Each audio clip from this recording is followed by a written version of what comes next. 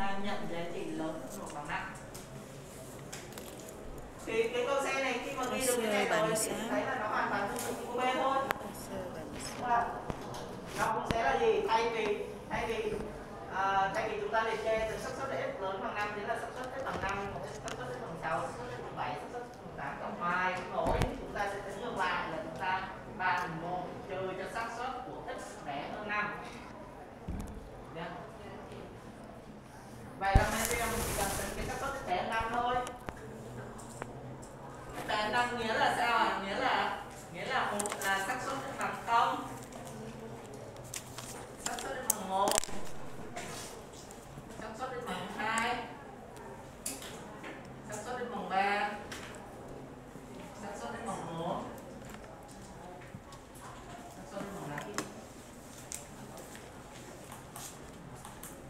hay nói cách khác đơn giản là gì anh chị lấy xác suất mà x bé 4 mình cộng cho à xin lỗi không có xác suất bằng 5 đâu để 5 là đó thì hay đơn giản là chị cần lấy xác suất mà bé 4 này chị cộng thêm cái xác suất bằng 4 đó đúng không? bởi vì đây là bằng không là một bằng hai bằng ba rồi bây giờ mình mình cộng thêm cái xác suất bằng 4 là cái đáp án ở câu A mình cộng thêm xác suất bằng 4 mình ra cái này là ở câu A này Này là câu A này. mình cộng thêm cái xác suất bằng 4 nữa là ra mình, mình ra được xác suất bé 5 rồi sau đó mình lấy một trừ đi là sao giờ cái đó là sự tính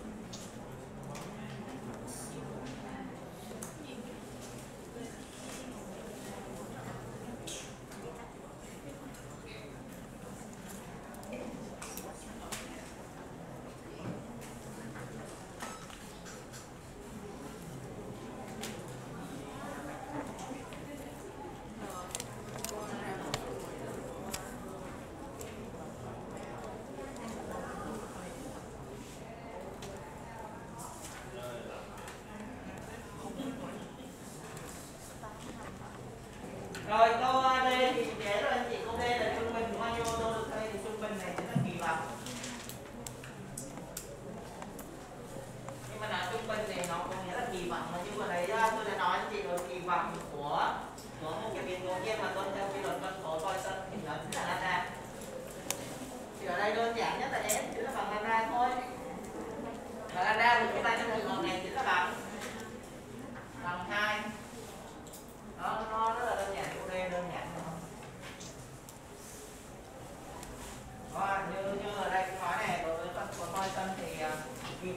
lambda phương sai cũng là lambda luôn.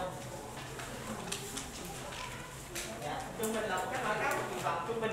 Trung bình là liên quan đến thống kê. Khi mà chúng ta dùng thống kê thì chúng ta nói trung bình. Còn liên quan đến chỉ là chỉ là chỗ cái, cái cụm này có bấm sao? Các á, thì gọi cái cái vọng. đó chị bấm là cái hai hai Nó cùng một hai mũ cái bốn hai bấm hai mũ bốn đúng không chia cho bốn ship dây đối với thường biến đúng không uh, bấm một đối với cộng bấm bấm Nhớ nhân đơn nè chỉ đối với uh, biến mà tuân theo quy luật của Poisson thì kỳ vọng là cứ sai là mũ trừ bốn rồi bằng. Bằng. Nè nó ra vậy trừ sao trừ hai? Nhưng mà dù có trừ à là bằng hai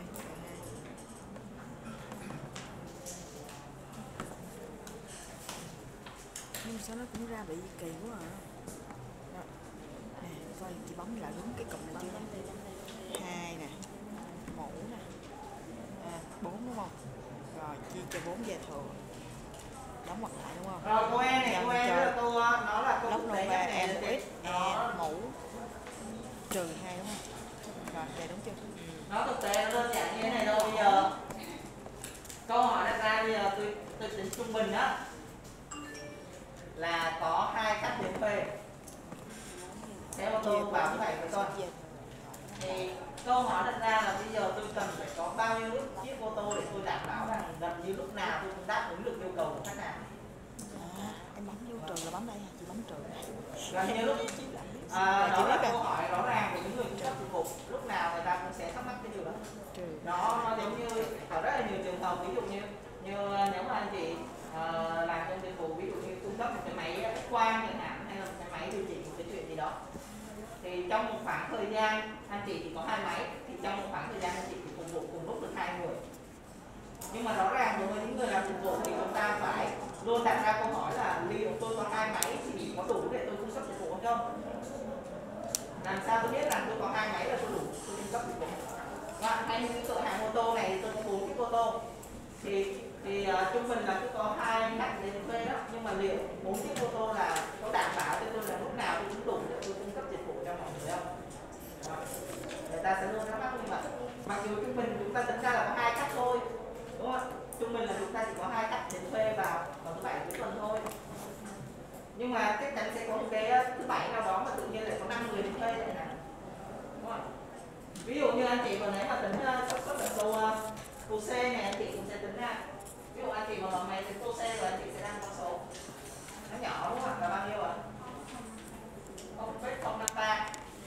Có nghĩa là sao? Có nghĩa là mặc dù trung bình á là anh, anh chị có bốn chiếc ô tô trung bình mỗi chiếc bảy hai người đến thuê thôi. Nhưng mà nếu nói về xác suất á, thì có khoảng 5 phần trăm. Có 5 phần trăm có nghĩa là có 5 phần trăm cái ngày thứ bảy đó sẽ có nặng xác suất là 5 phần trăm mà cái cửa hàng nó không đáp ứng được yêu cầu thì thì tùy vào tùy vào mục đích của người quản lý nếu mà người ta thấy là ừ tôi có xác suất là gì đến cứ cứ cứ thứ bảy cuối tuần thì có khoảng nặng xác suất là 5 phần trăm là tôi không đáp ứng được yêu cầu thì có đủ có có ổn hay không ví dụ nha bây giờ chúng ta ví dụ xem à, một năm chúng ta có có 52 tuần đúng không ạ là 50 tuần hay nói cách khác là chúng ta có 50 thứ bảy 50 cái thứ bảy này mà bây giờ chúng ta tính là 50 5 phần trăm của cái 50 thứ bảy có nghĩa là sao là bao nhiêu à, 10 phần trăm là 5 5 phần trăm có nghĩa là khoảng 2,5 cái thứ bảy có nghĩa là 5 phần trăm này của 50 tuần là của một năm. Một năm có 50 khoảng 50 đến thứ bảy mà 5 phần trăm của 50 nó ở 2.5 nghĩa như là vậy. nếu mà tôi tôi hiểu một cách nôm na nghĩa là gì một năm sẽ có 2 trên thứ bảy mà tôi không đáp ứng được yêu cầu đúng không ạ? Nếu mà tính theo cái tỷ lệ 5 phần trăm này. Chưa? thì thì à, một năm mà có hai thứ bảy không đáp ứng được yêu cầu có được hay không đó là đó là nhận định của người quản lý. Có người quản lý thì nói ừ bây giờ một năm mà có hai thứ bảy chúng ta muốn yêu cầu thì quá tốt rồi quá ổn rồi. Nhưng mà có người thì khắt khe hơn. Ví dụ có một người nào đó khắt khe hơn tôi tôi không thể chấp nhận được cái chuyện là trong một năm có hai cái thứ bảy mà tôi tôi lại không phục vụ được khách hàng một cách cách ổn nhất có thể. Hai cái thứ bảy mà có khách đến người ta người ta lại bỏ về không thuê được xe. Tôi không chấp nhận được điều đấy. Tôi cung cấp dịch vụ là công ty của tôi là công, công ty mà uh, hài lòng khách đến vừa lòng khách đi không thể có chuyện đó được tôi phải giảm cái tỷ lệ này xuống. Thì giảm tỷ lệ này xuống thì ví dụ như ở công e này người ta cái ông quản lý này ông khắt khe hơn người ta nói là cái xác suất mà không đáp ứng được yêu cầu bây giờ tôi không chấp nhận là năm phần trăm nữa mà nó bé hơn năm phần trăm. Bé hơn hai phần trăm có nghĩa là cái xác suất này này xác suất ở tô xe này tôi phải tính làm sao mà nó phải nhỏ hơn không phẩy không hai tôi mới chịu. Đó là còn không phải không năm lớn quá một năm là hai năm đến bảy là tôi không chấp nhận được là thì ví dụ như ông này là hai phần trăm có nghĩa là sao? Có nghĩa là hai phần trăm của 50 đến 7 có nghĩa là chỉ có một đến bảy thôi. Nếu mà tính theo tỷ lệ hai phần trăm. Có nghĩa là tôi chấp nhận một năm tôi đúng một cái hạng bảy là đúng tăng đáp ứng được không thì đáp ứng thế ít nhất là thế này mình chịu. Không quả thì đáp ứng thì câu hỏi đặt ra bây giờ làm sao để đạt được điều này? Tôi cần phải có bao nhiêu chiếc ô tô tôi mới đảm bảo được cái điều này? Lambda nhân đó là, đó là câu hỏi của cô em này và đó là câu hỏi thường của các nhà quản lý người ta hay đặt ra. Người ta sẽ quản lý à, và, và câu trả lời sẽ không phải là dựa cảm giác. Câu trả lời không phải dựa vào thống kê mà câu trả lời chúng ta là xác. vào dựa vào tính toán. Là chúng ta đưa ra một con số khoa học. Vậy thì làm sao? Vậy thì làm sao? Chúng ta trả lời câu e này bây giờ một? Một yêu cầu vậy thì bây giờ tôi phải trả lời là ừ bây giờ sếp mà nó là bằng một. tỷ lệ là một năm thì có một ngày thứ bảy không đáp ứng được yêu cầu bây giờ cho bằng em thêm 30 chiếc ô tô nữa. Chứ bốn chiếc là em không đảm bảo được rồi. Bốn chiếc là em không nhắm chắc. Vậy thì bao nhiêu chiếc mới là chắc thì bây giờ mình phải tính là cô e này. Đúng không ạ? Vậy tính làm sao anh chị sẽ thấy là bây giờ e cửa hàng nhập ít nhất bao nhiêu chiếc ô tô. Để cái chuyện mà không đáp ứng được yêu cầu để hơn hai phần trăm. Chứ bốn chiếc ô tô suất mà không đáp ứng yêu cầu là năm phần trăm rồi sẽ được được nhiều hơn một chiếc vậy tính làm sao thì chị sẽ thấy rõ ra bây giờ con số của chúng ta bây giờ giả sử cửa hàng Có hai bé tô. đúng vậy thì bây giờ mình phải tìm cái a làm sao để xác suất mà mà số cách đến nhiều hơn a bởi vì chúng ta có a chứ. không 0 đến A chiếc này là từ không lên A người thuê là chúng ta đáp ứng được yêu cầu. Chỉ cần mà lớn hơn A từ A trở đi, số khác mà gần từ A trở đi đến thôi là chúng ta được yêu cầu. Có nghĩa là ở đây, xác suất để cửa hàng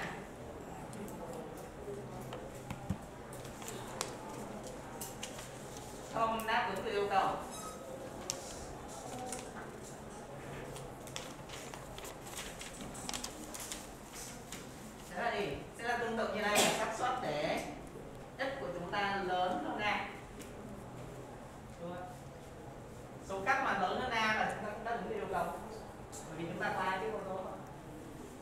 Cái xác suất rất lớn hơn A này tính sao? Thì anh chị sẽ thấy là tương tự như câu C và câu B đúng không ạ?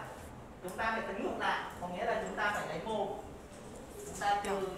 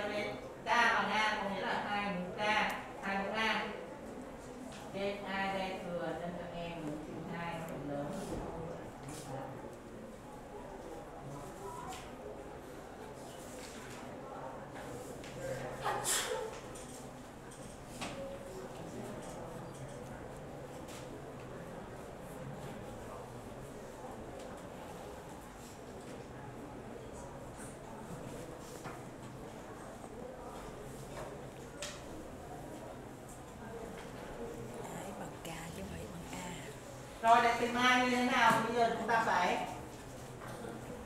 phải lấy máy ra thôi chị.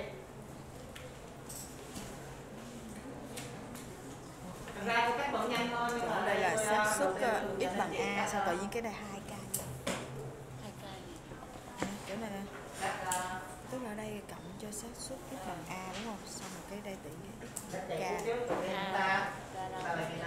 à dưới kìa dưới là a k từ A trên. a một cách tự nhiên chúng ta sẽ thấy là a của chúng ta phải lớn hơn 4 4 là chưa đủ. 4 4 ờ, là chưa đáp ứng được rồi. Đúng không? thì chắc chắn a của chúng ta lớn hơn 4 có nghĩa là bây giờ bây giờ chúng ta đặt câu hỏi gần nhất là a bằng 5 được không? Có nghĩa là chúng ta sẽ cộng từ từ 0 1 2 3 đến 4 đến 5 à, ờ, chúng ta lấy máy tính chúng ta cộng các giá trị đó từ 0 đến 5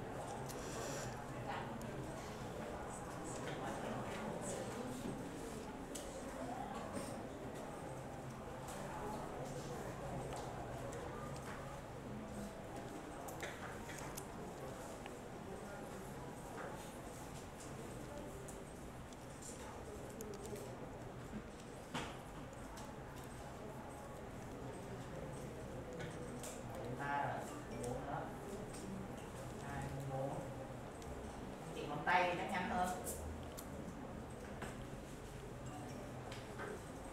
Đó nhưng mỗi máy tôi là nó hết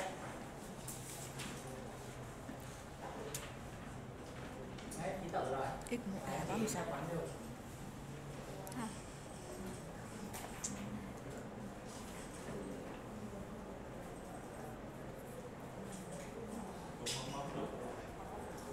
Đúng không? Phân ra Rồi, anh chị sẽ thấy là bây giờ nếu mà không bấm được thì anh chị bắt buộc phải chia thôi. Chia theo cách nào ở đây à, đến 4 đó là chị đã có đáp án ở đây rồi. Đó là bao nhiêu ạ? X bằng là 4. không chấm a Từ à, 0 1 2 3 đến à, x bằng 4 là bằng bao nhiêu? Chỗ này là không chấm à, a 0 phẩy à, hai ba 0,947 đúng không? Đây là 0,947 này. Đến số 4 là 0,947 rồi. Anh chỉ cộng thêm số 5 nữa thôi là được.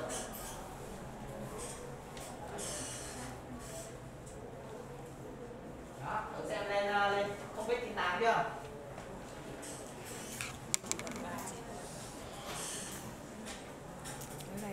cộng viết tới à, à, mũ năm phải không? Còn trên trường hợp bằng năm là hai mũ năm. Mình thấy trường. Trên nó năm dài như vậy mình sẽ trừ cái số trước đi mình tính từ không cho tới năm. Hai. Ở đây là thầy mới tính thứ hai thôi đúng không? Tính bằng hai thôi đúng không? Ờ, năm tới rồi anh chị sẽ thấy là rất là may mắn là năm là được luôn Chưa?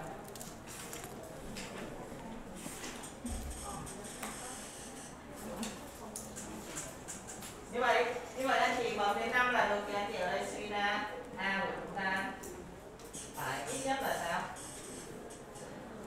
lớn hơn một năm thì nó mới được như thế đúng không đây là bữa thi là cho chắc luôn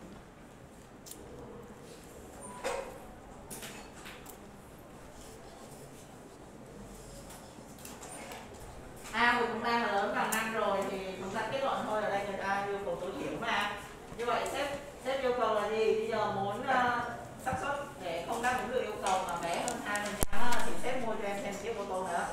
Đúng không? Em có một chiếc rồi, bây giờ sếp mua lên cho em một chiếc nữa thì em đảm bảo với sếp là trong một năm thì cũng lắm là uh, xác suất đó là xác suất nha anh chị là mô bản uh, có một tuần là không phục vụ được mà đáp ứng được hết yêu cầu.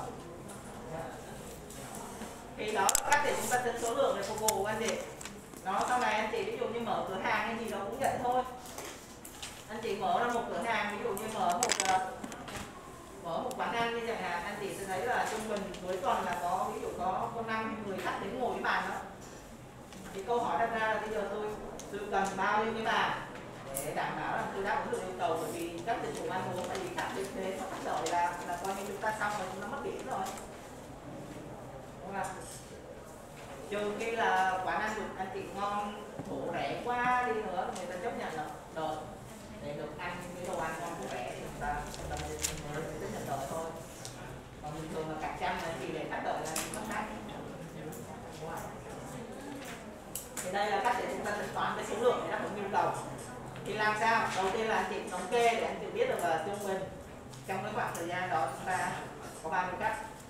Anh chị phải tính trung bình ờ trung bình chúng ta cứ đếm hàng ngày đến hàng ngày.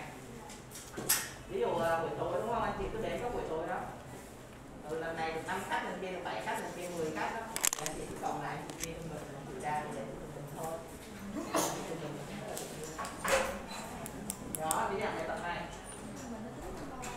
Dạ. Thì trung bình là trung bình đó cái chuyện đó sẽ tính ở chương ba. Nhưng mà cái đơn giản nhất là càng lâu thì cái giá trị trung bình nó càng các cái thử là tự nhiên anh chị, ví dụ như là tính trung bình trong vòng 5 ngày thì cái giá trị đó không được chính xác bằng việc tính trung bình trong 7 ngày. Còn còn câu hỏi là trung bình trong bao lâu để đạt được kết quả chính xác nhất thì chúng ta sẽ quay chương 3 không đợi nhưng mà không biết chúng ta còn à, đủ thời gian cho chương 3 thôi.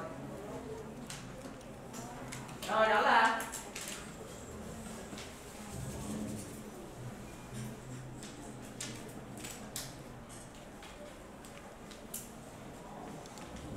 đó là câu 16 rồi chúng ta sẽ qua câu 17 thôi nhưng mà trước khi qua 17 thì thôi chúng ta chỉ nhẹ nào chút đi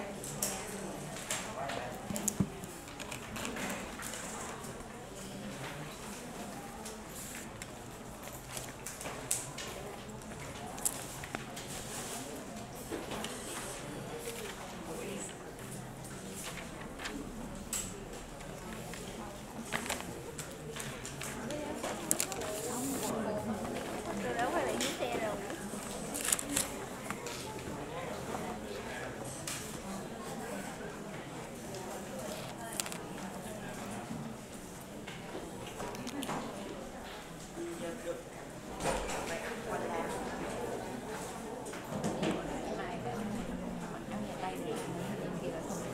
Em hỏi nghe nè, cái bài hôm trước cô số 9 á Cô số 9 á, tìm giá trị trung bình á Là làm sao mình lại tính ra là là mình dùng cái ES được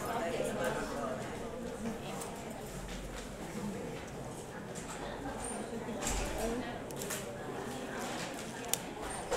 Ý là giá trị trung bình là mình lại tính ES hả? Là là sao giá trị trung bình mình lại tính ES? giá trị trung bình là S kỳ vọng là giá trị trung bình đó chị. Cái trị trung bình lớn hơn một chiếc.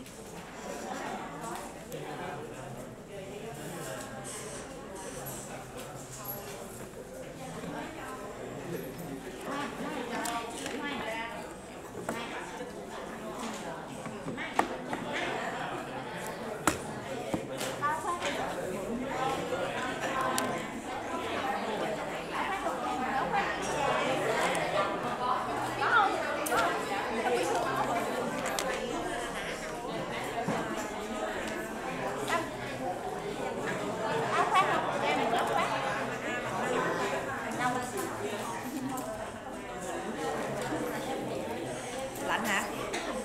Lạnh dạ lấy áo chị mặc nè. Có chưa? Trước mặc ở trước á. cái tay để trước nè. Lấy cái tay để trước hò vô cái tay vậy nè. Hò cái tay ờ đó vậy đó hả hả quá hả chị Ồ, công nhận mấy lạnh xịn ghê á. Bình thường thì không. Lạnh mới rửa